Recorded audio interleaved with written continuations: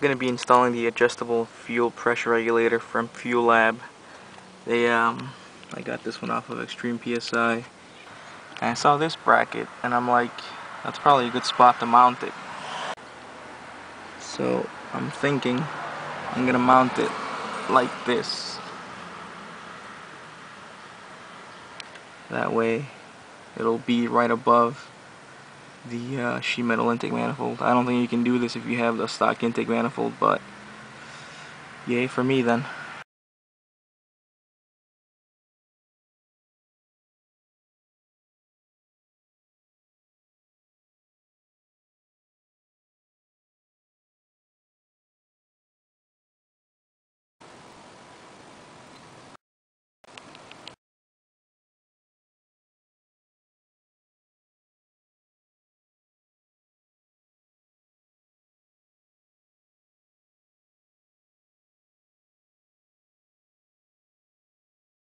Make their Super own. actually popular, right?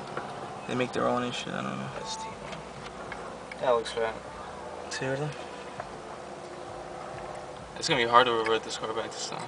so much crap. Yeah. To revert? The Yeah, fuck? That that's not even a word here.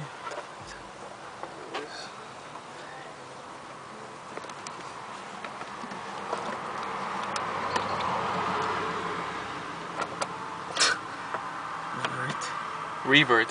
Revert. Revert.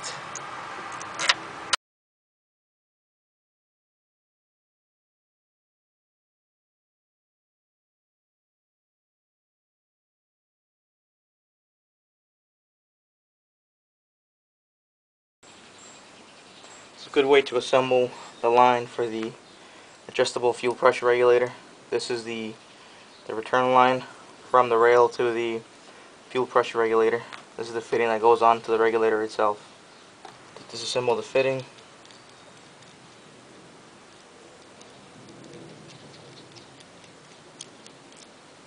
Leave this alone for now.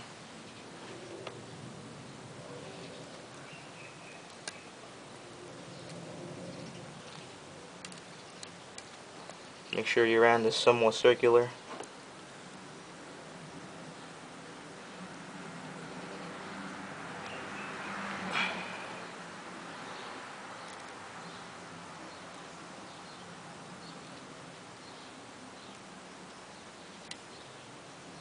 Kind of sneak it in at an angle.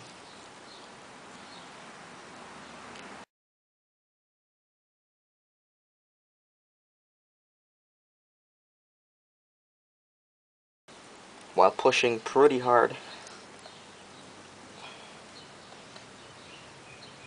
You see it's already starting to go in into the hole.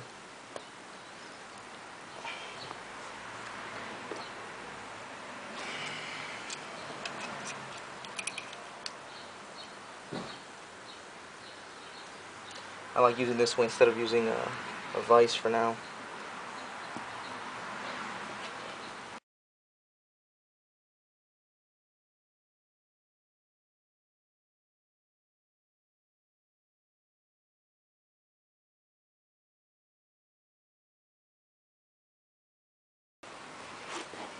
You can see it's fully in about a 16th of an inch from the thread, grabbing the thread. To assemble this fitting onto the hose itself, use a vise with aluminum jaws. Bought these online. Set it like so.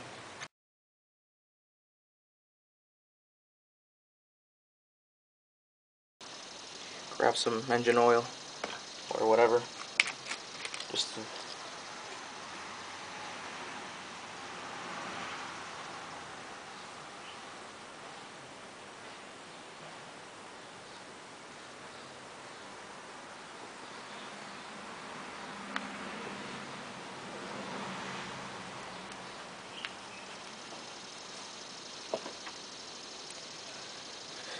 grab your hose end. Start twisting from the hose itself first.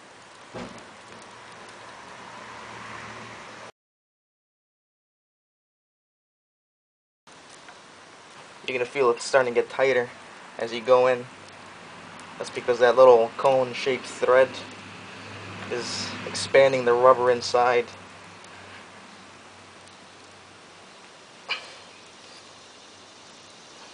As far as you can and grab your this is an AN wrench made out of aluminum so it doesn't scratch it.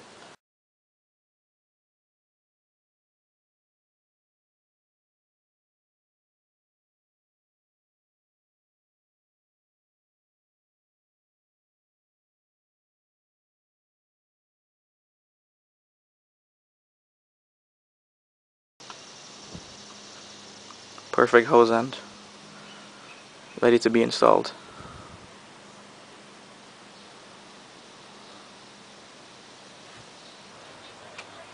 First thing you want to do is unplug the battery. Dealing with fuel, so you don't want to fucking blow up or anything. That would not be fun.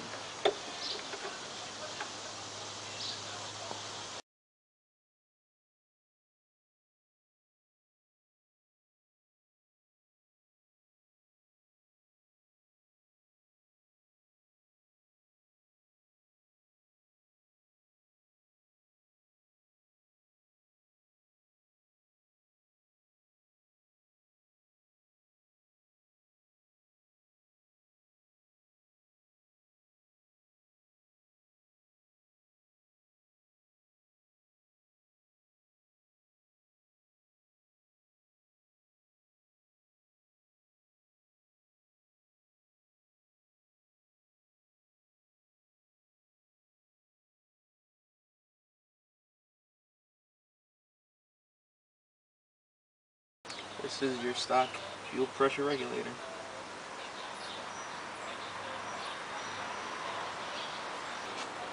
This is a new fitting that will go to the from the new AFPR line. Want to move it up a little bit. Install it. Just kind of push it in like you pulled off the other one, the old one. As you can see, I have to remove my exactly clear cover because the new line was not going to fit it. It was getting in the way. So I heard that if you get a, a first generation fuel rail, you don't have to modify the cover.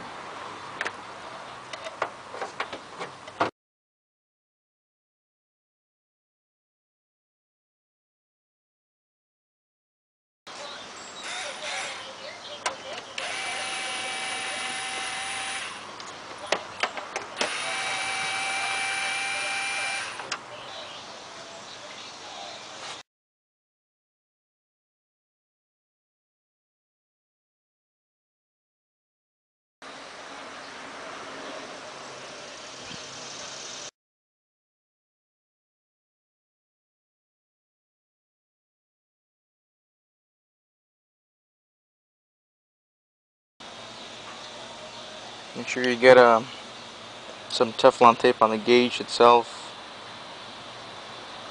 as well as the uh, vacuum barb fitting. These are the only places you want Teflon tape in.